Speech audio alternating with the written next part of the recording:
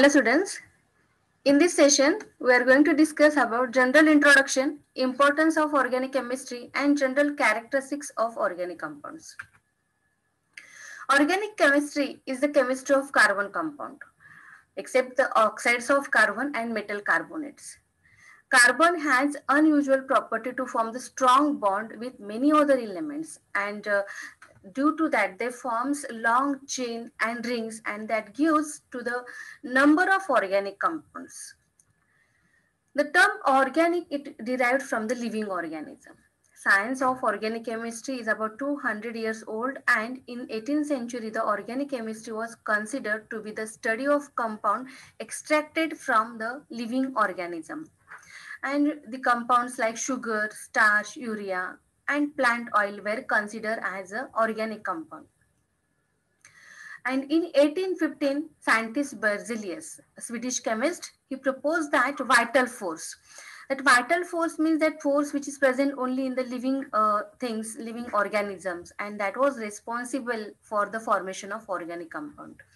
And this organic compound or organic chemistry was the study of compound formed due to the vital force while inorganic chemistry was the study of rocks, minerals, and gases, and the compounds that could be made from them in the laboratory. But uh, in 1828, scientist uh, Friedrich Wöhler synthesized urea and many organic and uh, inorganic compounds in lab and he showed that ammonium cyanate when heated it gives urea. And before this discovery it was thought that organic compounds could be produced only by the living beings only due to the vital force they are produced. But by this uh, creating uh, urea in lab by using the inorganic compound and uh, this was the discovery for the synthesis of this organic compound in lab. And he proved that only not only the vital force is responsible for the formation of organic compound he first made aluminium, beryllium, crystalline boron, and silicon, calcium carbide. And uh, also he gives the, uh, he also realized the analogy between the carbon and silicon. So now see this is the reaction for the formation of urea. In 1828, the scientist Friedrich Wöhler, he synthesized urea by using the uh, inorganic compound ammonium cyanate NH4CNO on heating it form NH2C double bond O NH2. Okay, this is the organic compound and urea. So that uh, these are the parameters of comparison between the organic and inorganic compound. The first point is about the percentage of carbon or the presence of carbon. Organic compound contain mainly, mainly the more percentage of carbon whereas inorganic, inorganic compound contain less percentage of carbon. And uh, they are distinguished due to the presence of carbon are more in the organic compound uh, this uh, reactivity for the organic compound is considered to be the more reactive and they are extremely flammable. Whereas inorganic compounds are naturally non-volatiles and uh, also not uh, flammable. Organic compounds occur in the gaseous, liquid and solid state, but inorganic compounds occur only in the solid state. Organic compounds are present mainly in the living organism. They are uh, present or the what we can say they are obtained from the mainly from the nature that is from the plants and animals. So this is the occurrence for the organic compound. And uh, for the inorganic compound, they majorly uh, occur in non-living organism.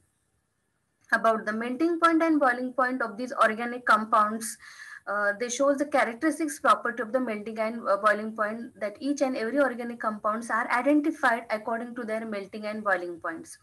And the pure compound, they shows the correct melting and boiling point. And uh, for this inorganic compound, as compared to the organic compound, they shows the lower boiling point and melting point. So this is just comparison between the organic and inorganic compounds. Next point is about the importance of organic chemistry. The field of organic chemistry is very vast and uh, it requires more and uh, now seeing that each and every field is related to the organic chemistry and uh, it's uh, that importance of organic chemistry is just like the describing the drop of water in a mighty ocean. That few of the industrial applications we are going to discuss here and uh, these applications of organic chemistry which are in our day-to-day -day life. Organic chemistry uh, uh, or the field of organic chemistry is related with the different uh, fields or different industry like in the food industry, in the dye, in the textile, fertilizers. The organic compounds are used. Now see the organic chemistry means it is a study of carbon compounds.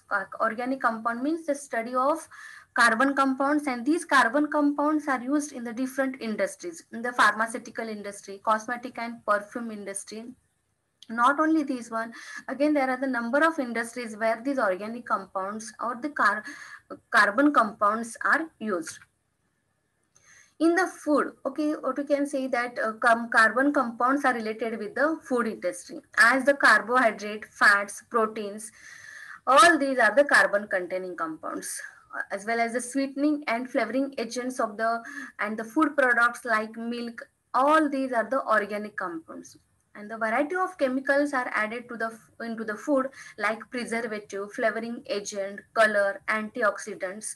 And so that food it made more attractive and increase its shelf life. So the role of carbon is very important in the uh, food industry. Uh, sodium benzoate it is an important example which is used as a preservative in the food or as well as the salt of sorbic acid propionic acid. These are also used as a preservatives. Whereas butylated hydroxytoluene these are the chemicals okay where the as these are used as antioxidants which antioxidants which retards the deterioration of food BHA that is a butylated hydroxyanisole SO2 or and sulfide these are used as antioxidants. So what we can see here the carbon compounds play a very important role in the food industry in the petroleum industry, LPG, liquefied petroleum gas, gasoline, kerosene, these are the organic compounds are used in the petroleum industry. Synthetic drugs like aspirin, antipyrine, sulfa drugs, antibiotic, antiseptic, vitamins. All these are the medicines which are regularly used by the human being and these are related with the carbon compounds and therefore the carbon compounds play very important role in the pharmaceutical industry. Natural and synthetic dye like indigo cosine uh, these are the dyes and they are prepared by using these organic compounds. And uh, uh, fluorescein uh, azodyes these are also example for this dye. And uh, all they have the very uh, these dyes having a organic background in the plastic industry for the preparation of polyvinyl chloride polythene bakelite uh, see these are the polymers and these polymers are prepared by using the monomers and these monomeric units are organic molecules. By using these monomers all the monomers they contain organic compounds and therefore the role of these organic chemistry is very important in the dye and plastic industry. In the textile industry carbon compounds also play a very important role. The manufacture of nylon fibers terylene fiber, rayon, they are the synthetic. Not only the synthetic, these are the synthetic and artificial fibers as well as natural fibers like cotton, silk. They are also, they are organic in nature. Means by using the chemicals which contain the carbon, synthetic fibers are prepared and we get the cotton, silk, these are the natural fibers and these are also contain the carbon means the role of these uh, organic compounds is very important in the preparation of or what we can say in the manufacture of these fibers.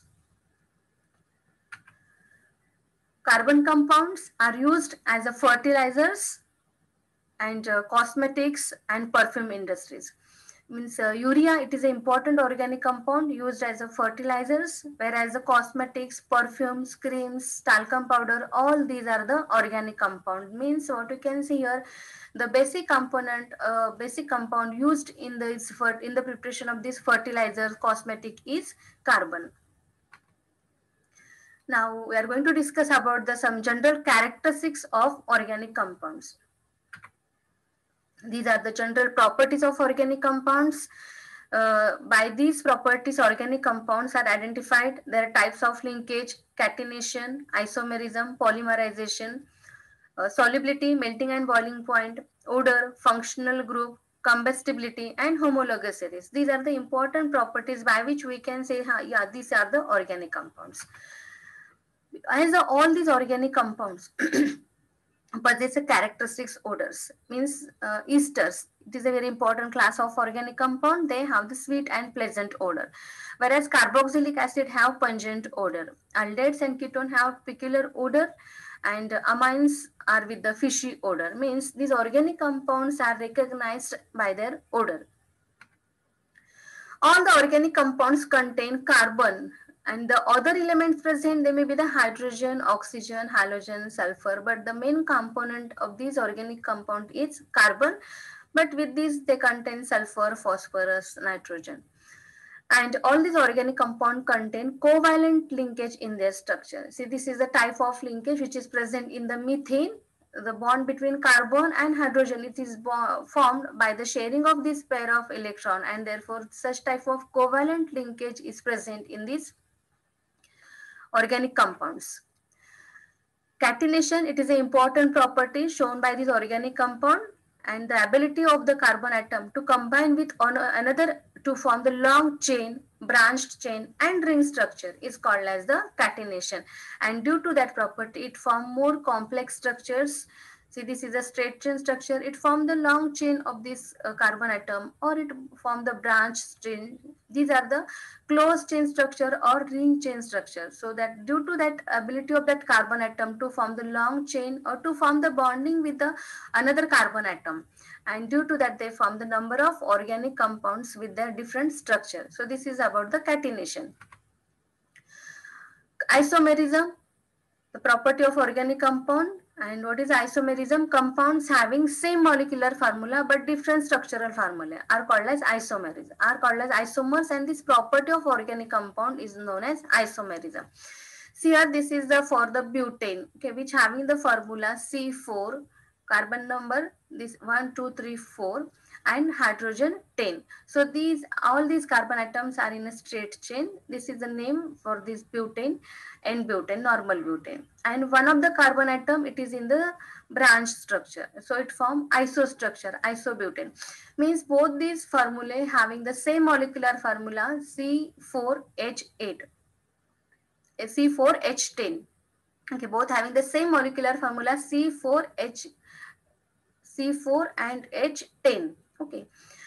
And uh, therefore, uh, as the molecular formula is same, but they show the different structural formula. And therefore, these are called as the isomers of each other. So here, this is the molecular formula for the pentane C5H12. This is the one structure in which all these carbon atoms are in a straight chain. Normal pentane, one of the carbon atom is on this straight chain. So it formed the branch structure and it formed the name isopentane. Iso means one carbon atom is attached to other three carbon atom and one hydrogen. This structure is called as the iso. In normal structure, each carbon atom is bonded with other two carbon atom and two hydrogen. This is the normal structure. So pentane, isopentane and as now see here the number of carbon atom is increases, it shows one more possible structure. Here the one carbon atom is attached to other four carbon atom. Okay. And that's one carbon atom which is not attached with the other hydrogen atom. So this structure is called as the neo structure and this in the structure five carbon atom. So this is the formula for the neopentane.